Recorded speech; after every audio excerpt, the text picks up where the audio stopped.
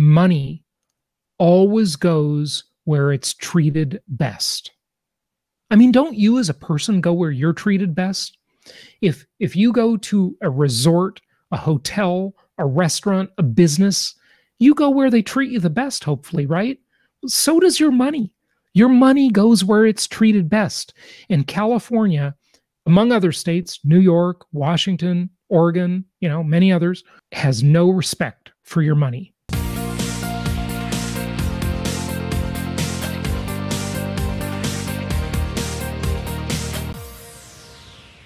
Hey, it's Jason Hartman. Since it seems to be popular to pick on my former home state, I figured I would do it too and share my story as to why leaving California was one of the best decisions of my entire life. We're going to talk about the business climate. We're going to talk about the culture. We're going to talk about taxation. We're going to talk about all of those important things that affect so many of our lives lifestyle not not the least of which uh, lifestyle in general and a lot of these things just add up to lifestyle so there is no shortage of people talking about moving out of California. I want you to understand something. This also applies to any place that has a similar climate. No, I don't mean weather. I mean a governmental climate, a cultural climate. So everything I say about California probably applies just as well to New York or many other areas that are becoming less and less desirable. You know, as as we look at California, it was a major part of the culture of not only the entire country, but the entire world. California had Hollywood, right? And Hollywood was was the media that we all consumed. In addition to hollywood the movie industry the tv industry it had the music industry. So you know music movies television i mean that influenced the entire planet. The whole human race was influenced by what came out of Southern California, where I lived for the vast majority of my life. Now, what I want you to understand is that a lot of places and a lot of businesses and a lot of people are sort of riding on a reputation that was well deserved at one point, that was earned at one point, but it's just no longer true. If you look at other places around the world, you know, I was born in Europe, and whenever I go back to Europe, every time I go, I usually go a couple of times a year. I think this place just keeps getting less and less desirable than it used to be and and it's really true you know europe a couple of hundred years ago was the center of culture and arts and civilization in so many ways i mean not ancient civilization of course there's egypt and everything else but forget about that i'm just trying to make a point you know the renaissance really came out of europe right and a lot of great stuff came out of California in the 50s, the 60s, the 70s, and even up until the 80s. And after that, it really all started to change very dramatically. So, whether you remember California as that cute girl Gidget or the Mickey Mouse Club and, and Disney, or more recently, you know, 90210 or Melrose Place, Beverly Hills 90210, or even more recently than that, Baywatch or the movie Grease or the Beach Boys, you know, all of this great stuff that influenced culture not only around the country, but also around the world that is not the same California we have today. And it hasn't been that way for really a couple of decades. But it takes a long time for people to change their plans, to change their location, to change their businesses, to change their decisions, their perceptions of a place and really they do need to change. And hopefully this video will will help you understand some of that stuff and why you might want to make a different decision. If you live in New York if you live in California it might be time to move. So of course high taxes. This is no secret to anybody. We all know that California New York and many other places around the country and around the world the governments are getting desperate and they are looking to tax everything that moves. And then they of course have high cost of living, mostly determined by the cost of real estate in these areas, but in general, everything is expensive because when the real estate is expensive, that influences the price of virtually everything else because every business operates in or on real estate. And when real estate's expensive, they pass that cost through to the customers. A very intrusive government. And if we have time, you know, I can give you some examples uh, about that. I, I ran a few different businesses in California, and the government just became progressively more and more intrusive, and it was not pleasant. Lack of entertainment. When real estate gets expensive, when regulations get heavy, when government gets intrusive, when when taxes get high, there's just a lack of new entertainment options. They're just not building anything. They're not building many new restaurants. They're not building many new concert venues or movie theaters or whatever, right? They're just not having as many events because there's so many permits, there are so many regulations, there's so many hassles to do this stuff. Cultural isolation. Well, it's no secret that California, you know, I remember seeing Leslie Appleton Young, who I've interviewed on my podcast and YouTube channel. She was the, or still is, the chief economist for the California Association of Realtors, a very powerful trade group in the state of California. And I remember back in the late 90s seeing her give a speech about California and what was going on there and how the economy was going to be, how the real estate market was going to be. And she said, I would tell everybody here to go learn another language but I can't tell you which one to learn because in California, you have 29 major languages that are spoken. And, you know, language is a cultural barrier, not only customs and other things, but language, just language alone. When you go into stores, coffee shops, wherever you go in California, people are speaking a whole variety of languages, which is kind of interesting on one hand, but it's isolating on another hand if you don't speak that language. And that's why when, you know, in any country, when we see certain expats and immigrant groups, they all kind of stick together, right? Because they feel more comfortable with people who share their customs and speak their language. And I certainly understand that. If I lived in a foreign country and, you know, I didn't speak the mainstream language of that country, I would find the expat community and you know, hang out with people I knew and understood and shared common bonds with. But that's isolating as more and more of that changes in the cultural landscape. Draconian laws. Oh my gosh. California and New York, probably the two leading countries in the United States for draconian laws. When you get a situation where the government just feels that they need to control everything.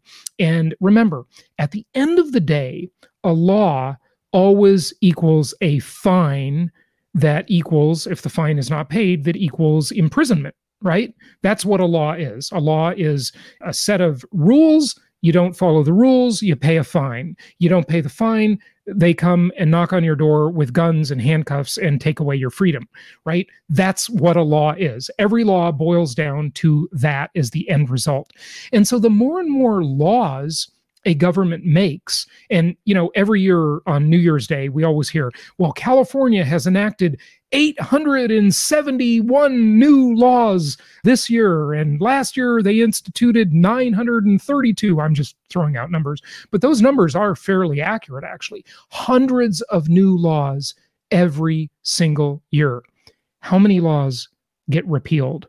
Almost none. laws don't get repealed, they just keep adding new laws. And every law represents a tax collection opportunity for the government. Um, tied in with cultural isolation, diminishing social life. I found that a lot of my friends kept moving out of state because they just didn't want to put up with any of this stuff the high taxes, the high cost of living, the draconian laws, the intrusive government, uh, the crowds. Uh, you know, I didn't even mention traffic, right? and, and, you know, just in general, California is very business unfriendly. And when businesses leave, the people leave that's almost always just the productive people leaving, not the people that are looking for a handout or looking for something for free. They stick around, right? Because California is a state that basically says, look, if you are not productive, come here and they are a magnet for this, and we will give you free stuff so we can buy your votes. That's the speech of any California politician, New York politician, and you know left-leaning socialist politician. Okay, so this is a quote I came up with uh, a while back.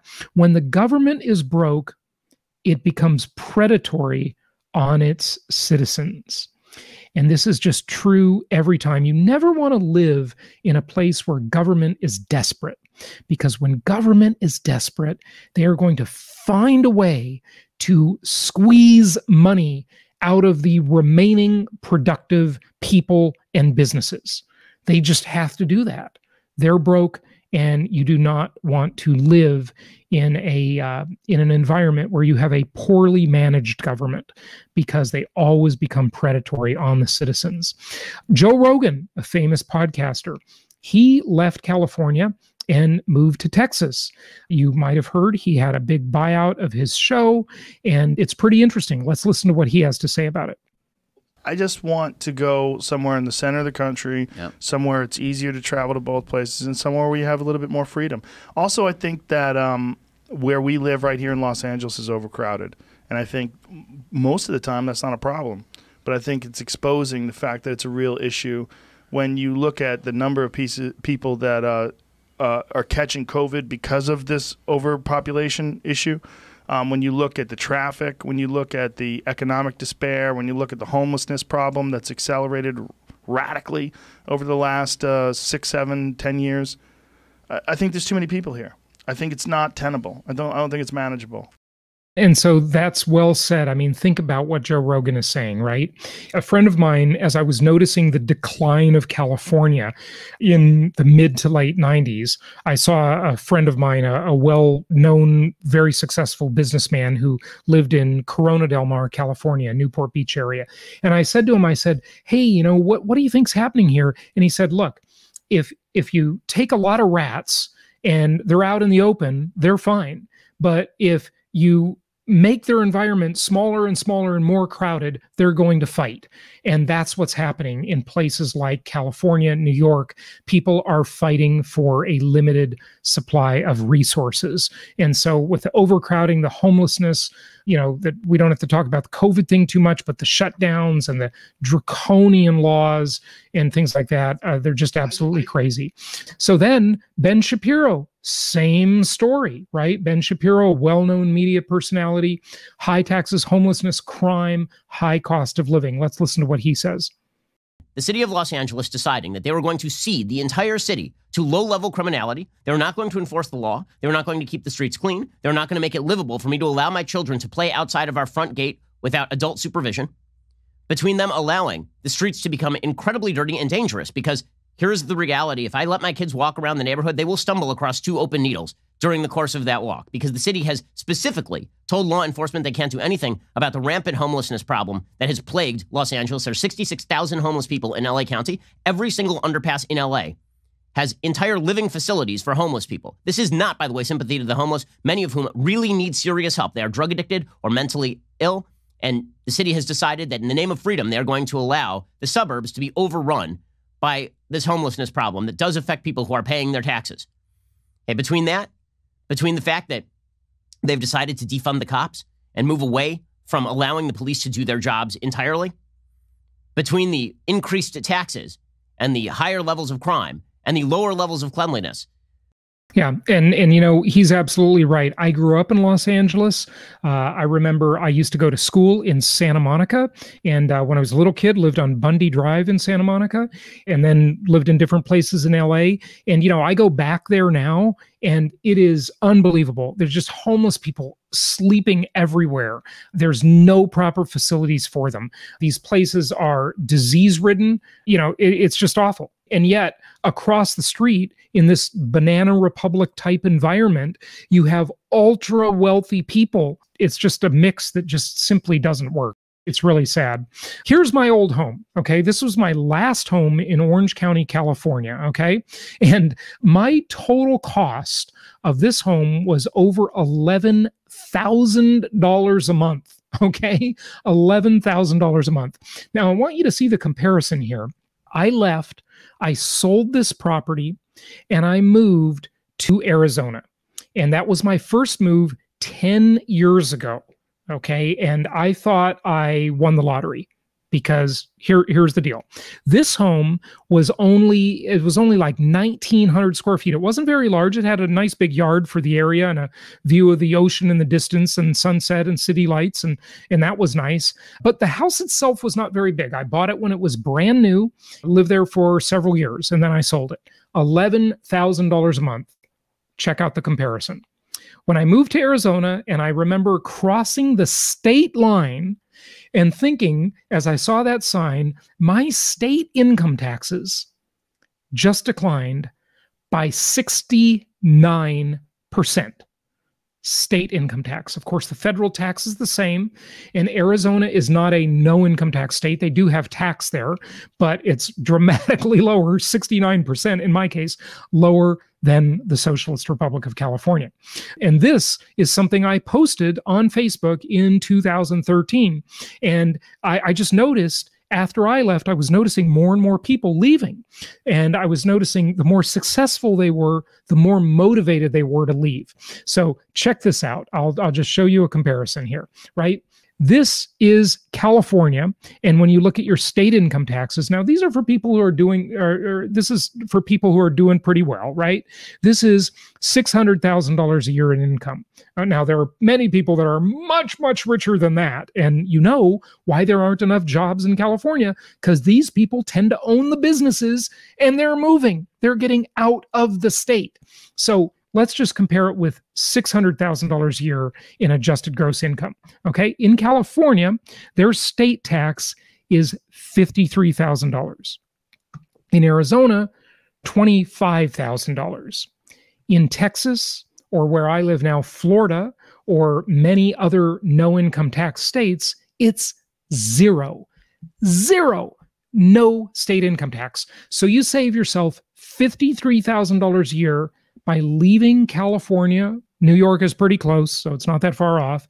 So basically, every single year, you can buy yourself a brand new, at the time, BMW 5 Series and pay cash and get a brand new car every year just because you aren't paying California state taxes. Now, that doesn't include all the other cost of living. Let me show you the example. So, here was my house in Arizona, the first place there, right? It was twice as large. It was $3,600 a month. I rented this. It was a penthouse apartment in the tallest all residential building in the entire state of California windows on three sides. I saw the sun set and I saw the sunrise every single day from one side of the house or the other. This is the sunrise when I'd wake up. And I, I don't know if I have a picture of the sun. Oh, there's the sunset from my bedroom. Okay. So just absolutely incredible. Now compare that to $11,000 a month right? Just unbelievable.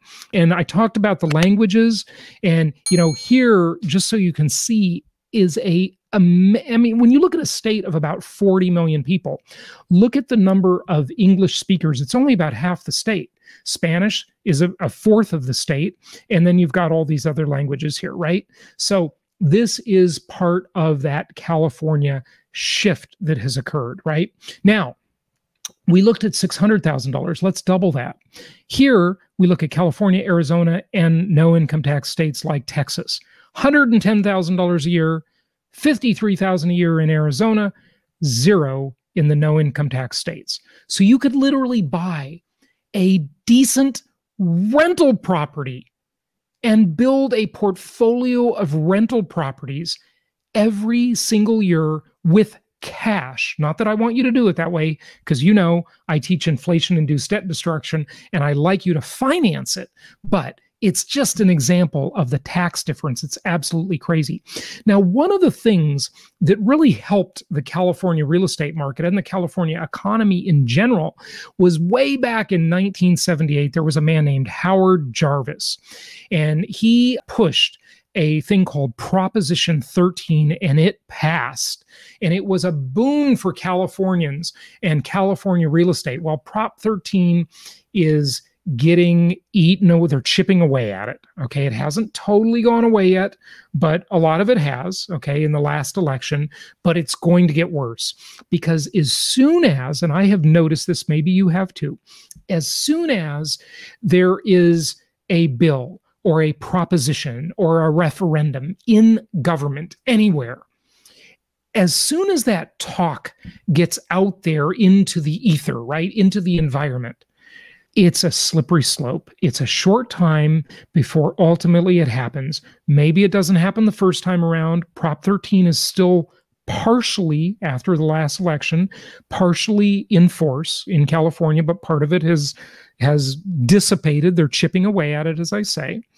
And as soon as the talk gets out there, though, you know it's only slippery slope. They're going to chip away every election or every, you know, executive order or every time the assembly meets, they're going to chip away more and more at this stuff. And there are many, many end runs around the will of the people to do this. So this is going away mark my words yeah it's a prediction i could be wrong but prop 13 will ultimately just it'll just evaporate it'll vanish. The state is broke they need the money okay? So in the last election they chipped away at it. I don't think i need to go into the details you probably already know this stuff okay? I had dinner in austin texas with Tim Ferriss. You might recognize this guy at the end of the table. That's Tim Ferriss, the famous author. And he moved from Silicon Valley in Northern California to Austin, Texas. And I had dinner with him, literally a four hour dinner. I kid you not. Okay. Uh, uh, after he moved to Austin, Texas, he's the author of The Four Hour Work Week, The Four Hour Body, The Four Hour Chef. You probably know these books. They're, they're very well known best selling books. He talked about how he left California, why he left California. You know, everybody just realizes at a certain point it's just kind of overrated. It's riding on a reputation that was developed decades earlier and it's just not the same. You know here's another headline. California continually tries to chase away the wealthy. Tech exodus. California tech companies are leaving for texas and not just texas other places. The mayor of miami is doing a good job trying to attract uh, tech companies and a lot of tech talent into south florida. And so things are changing do not miss this change in the tide. It's been going on for a while and it's only accelerating. A famous YouTuber, Graham, listen to what he says about leaving California. He just moved to Las Vegas. But once everything was shut down and both of us went entirely remote, there was the realization that we could work from pretty much anywhere, and we don't have to be anchored to one specific city to lead a fulfilling and happy life. Not to mention, on paper, I'm not oblivious to how much money I would be saving if I moved to a no income tax state like many have done before me. And that's now a number that's grown to the point where I can no longer ignore the cost benefit of moving. So there you go, right? And he cites high income taxes, high business taxes, crime rate increasing, homelessness, high cost of living, wildfires, air quality problems, too many regulations. You may be familiar with his work, and there you go. Okay, so what about this one? This is a friend of mine. This is Mark Moss, and he is also a famous YouTuber, and he just moved from Orange County, California to Puerto Rico. Now, if you don't know about it, I've done some other shows on this. Puerto Rico has, for US citizens, the best tax deal in the world. I've considered moving there many times. Every time I go, I think about it again. Many of my friends have moved there, including Mark. However, I just don't like it well enough. So I figured I'll at least live in a no income tax state like Florida. Absolutely love Florida. But here's what he has to say. But then the income taxes. The income taxes, for me, were the straw that broke the camel's back. In California, we pay state income taxes. There's seven states in the nation that don't pay any income taxes, but in California we do, and that's 13.3%. 13% just to live in the state. On top of that, capital gains taxes are based off investment income. I've been a full time investor for a long time, so a lot of my income comes that way. And in, in California, they don't give you a special tax rate for that. It's taxed just as ordinary income. Now, on top of that, in 2018, they, ch- they changed the federal tax law to where I can't even write off my state taxes anymore.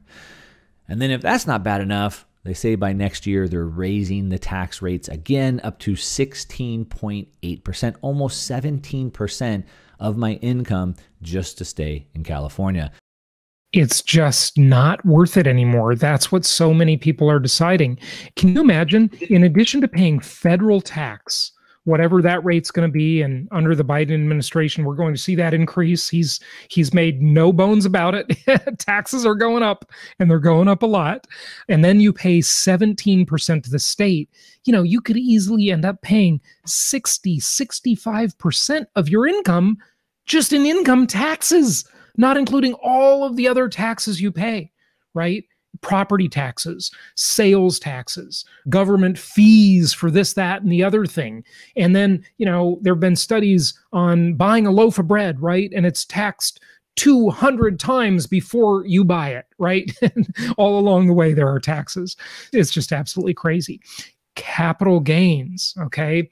They want to tax capital gains as ordinary income. By the way, this is also going on at the federal level. Okay. This screenshot is from the Franchise Tax Board, the California State Taxing Authority, which, by the way, is one of the most aggressive taxing authorities in the United States.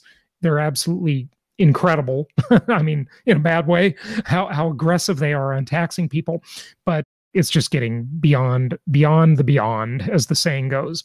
Here's another example yet again right? California's growth rate at a record low as more people leave. Um, you know officially california added 21000 people uh, in in the year from july 19 to 2020 um, but but increasing the state's population by a paltry 0.05 percent right? Um, and uh, you saw people leaving. Now, I want to caution you when you see stats uh, like this because they are very deceiving. The question is not the net number of people moving in and moving out. The important question is who is moving in and moving out. That is the important question. Why? Because you want people moving in who are productive, who have money, who employ people, who are going to open businesses. And this, nothing could be further from this case in California. The people moving in do not typically have businesses. They do not typically employ people. They do not even typically pay taxes at all. Okay. And the people leaving are those people who employ people, who pay taxes. The middle class is fleeing the Socialist Republic of California in record numbers. And that has been going on for quite a while. It has only accelerated with the pandemic. Okay, large companies leaving California. It's not just people, it's companies. Oracle, you all know about Oracle, Larry Ellison, the CEO, moving the headquarters to Austin. Palantir, that's Peter Thiel's company. He's probably the smartest guy in Silicon Valley. And he left and moved his company to Denver. They recently went public. Hewlett Packard, they're one of the famous California success stories, you know, started in the garage in Silicon Valley and now moving their headquarters to Houston. Elon Musk personally moved to Texas and he's talking about moving Tesla and SpaceX Okay. I mean, that would just be a huge blow. You you wonder why don't the people running California, why don't these crazy politicians there, why don't they get the hint? What is their problem? I mean, they just don't get it. It's like they're almost intentionally trying to ruin the state. Now, one of the things my company offers is an empowered investor network. It's like a social network for some of our investors that choose to become members of this, right? And one of them recently did a little anecdotal survey, and I, I taught them to do this, which is simply if you want to research migration trends, just go to the U-Haul website. You're all familiar with U-Haul truck rentals. Well, they're leaving Northern California and they're moving to Boise, Idaho right? So Folsom is in Northern California near Sacramento, and they wanted to rent a small trailer to start their move. And they noticed that renting this trailer from Folsom to Boise was $850. but renting the same trailer to go from Boise to Folsom because people are leaving California and U-Haul is having a hard time getting their vehicles back into California where there's a high demand to rent them for one-way moves to leave the state. It's only $99. So think about that. That's more than 800% price difference going one direction or the other. That's absolutely insane. And if that doesn't tell you what is happening, if that is not a barometer, a litmus test for what is going on in California as people are fleeing the state, I, I don't know what else can. This is it's just absolutely shocking what's happening. Highest state income tax and they're planning to make it go even higher. Look at that 13.3% at the highest uh, marginal rate. Minnesota, pretty darn high. New York, pretty darn high. But remember, it's not even just about income taxes. Oregon, very high too, of course. Uh, don't forget that. And South Carolina is not cheap, and neither is Iowa, right? Or Wisconsin's pretty high too, right? But it's not just about income taxes it's also about other types of taxes and the overall cost of living. Oh, don't forget Hawaii down here at 11%. Okay. It's easy to forget beautiful, gorgeous Hawaii. Great place to visit. So is California. I just wouldn't want to live there.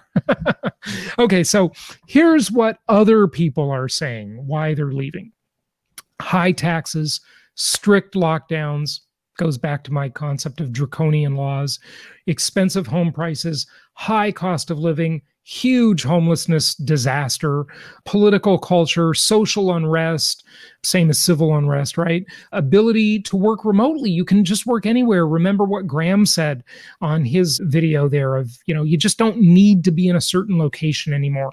Poor air quality, traffic and overcrowding, wildfires, earthquakes, you know, the list just goes on and on. Now, but wait, there's more, as the saying goes. This proposed wealth tax is absolutely scary. Now, what is the difference here? Look, it's one thing to say we're going to tax your income, right? You're making money, you got to give some to the government. Okay, fine. You know, we've all sort of made that deal and we've all agreed to it basically. Uh, not that we had a choice, but we're all doing it, right? At least most of us are there, or at least those of us who don't want to go to jail. okay. So, but the wealth tax is an entirely different concept. A wealth tax means that after you earned that money and you paid taxes all along the way, now you have that money in the bank or you have it invested, you have it in a business, you have it in real estate properties, you have it in the stock market, whatever, right? It's now your wealth that you've created. You've probably spent a lifetime working for this money. California says, we want to tax your wealth. We don't care if you paid income tax all along. If you paid income tax for the past 20, 30 years, we don't care you have wealth. We want to tax the wealth also. And they're proposing similar thing in Washington state where you have Jeff Bezos and Bill Gates and a few other super rich people, right? And this is going to chase them out of the state. Now, I don't think Bill Gates will leave, but I do think uh, Jeff Bezos will leave. We'll see right? And a lot of these ultra rich people in California will really, really be incentivized to leave. And when they leave, they're going to take their spending and they're going to take their businesses and they're going to take their wealth and they're going to put it somewhere else. Remember one thing, folks money always goes where it's treated best. I mean, don't you as a person go where you're treated best? If if you go to a resort a hotel, a restaurant, a business, you go where they treat you the best, hopefully, right? So does your money. Your money goes where it's treated best. And California, uh, among other states, New York, Washington, Oregon, you know, many others, has no respect for your money. They don't treat your money well. And this will cause people to leave. So here we go. Anybody who spends more than 60 days in the state in a single year could be susceptible to this proposed wealth tax of 0.4%. Okay, now, right now, it's on people with a net worth in excess of $30 million. Uh, but, but remember, it's always a slippery slope. Milton Friedman said, There is nothing so permanent as a temporary government program. And that also kind of speaks to the slippery slope idea, too. Because I remember when they had the big earthquakes in San Francisco years ago, and they said, Look, we've got to raise the California sales tax by a penny from 6% to 7% for just a year to help pay for rebuilding. And you know what? Everybody in the state was pretty much okay with that. They said, fine, you know, we understand. You know, we want to do our part. We feel bad for what happened. And, you know, if everybody pays an extra 1% for a year and it rebuilds the Bay Area, that's okay, right? Everybody agreed to do it. But guess what? The sales taxes now are much higher than that. It never went away. It never does. They'll start out saying we're going to tax the the ultra rich with 30 million dollar net worths, but then it'll be 20 million dollar net worths and then 10 million dollar net worths. And you're all thinking, you know, some of you who don't have net worths like that are thinking, well, that doesn't matter to me. You know, those rich people eat the rich. But the rich are the people who employ people, okay? and they're the people who are building things and developing land and creating jobs. Okay, fine. But then that wealth tax will drop and drop and drop. And they'll say, look, if, if you're worth a million dollars, which in California is not much at all, okay, a million dollar net worth in the state of California with that cost of living is like nothing. All right. So this will be a slippery slope. It will happen my prediction it will happen and it will be a slippery slope down to lower and lower amounts and increasing and increasing rates of taxation remember a broke government a mismanaged government always becomes predatory on the citizens. Now if you want to learn more about my other concepts like inflation induced debt destruction how you can align your interest with these powerful forces governments and central banks subscribe to the youtube channel Check out the podcast, The Creating Wealth Show, the podcast. Go to jasonhartman.com to learn more and be sure to click the bell notification after you subscribe so you're notified when we do live streams and all of that great stuff. Anyway, thank you for listening. I hope this was helpful. And I hope if you are in one of these unfriendly states that is attacking your money, I hope you will make a good decision to move to a place that treats you and your money better. Anyway, thank you so much for listening and happy investing.